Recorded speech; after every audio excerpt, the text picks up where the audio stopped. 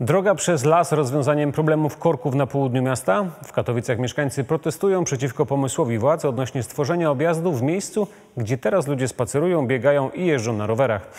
Żeby mógł powstać drogowy łącznik przez las w Panewnikach, konieczna jest zgoda Rudy Śląskiej, bo to na jej terenie znajduje się wspomniana ścieżka. Dlatego również do tamtejszego urzędu trafiła petycja mieszkańców. Łukasz Kądziołka.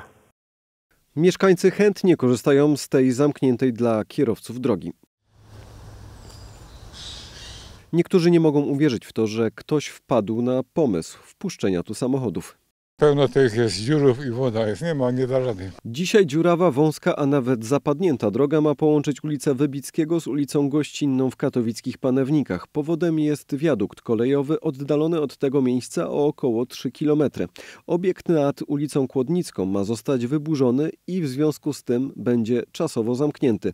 W jego miejsce ma powstać nowy, a na razie kierowcy będą musieli jeździć naokoło. Natężenie ruchu w e, tych miejscach, czyli na Kościuszki e, i na Mikołowskiej będzie bardzo duże. I aby stworzyć e, taką alternatywę właśnie powstał pomysł, aby udrożnić to połączenie, które istnieje. Urzędnicy nie chcą doprowadzić do sytuacji, że najważniejsze drogi będą całkowicie zakorkowane.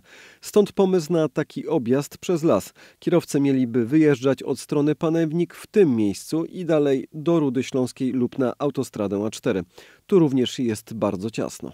Jaki to ma sens? Co nam to poprawi? Skoro ta ulica, która ma być wyremontowana, właściwie ten łącznik, on prowadzi do ulicy Gościnnej. Ulica Gościnna korkuje się na skutek istnienia w tamtym kierunku wiaduktu.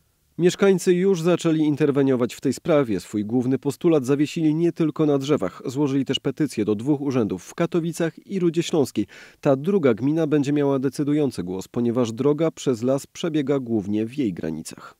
Miasto nie podjęło jeszcze decyzji w tej sprawie. Musimy szczegółowo przeanalizować złożone dokumenty. To krótki komunikat i raczej nie uspokoi mieszkańców. Ci przypominają, że walczą nie tylko o swój komfort. One są tam każdego ranka, każdego wieczora. To są dziki, to są sarny, to są jelenie. Katowiccy urzędnicy uspokajają, że to tylko na czas wyburzenia i budowy nowego wiaduktu. Twierdzą, że to będzie tymczasowe.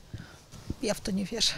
Jak dowiedzieliśmy się od PKP Polskich Linii Kolejowych, które realizują wielką przebudowę torów w Katowicach, dostosowaniem drogi do objazdu ma się zająć wykonawca tej inwestycji, czyli firma Torpol.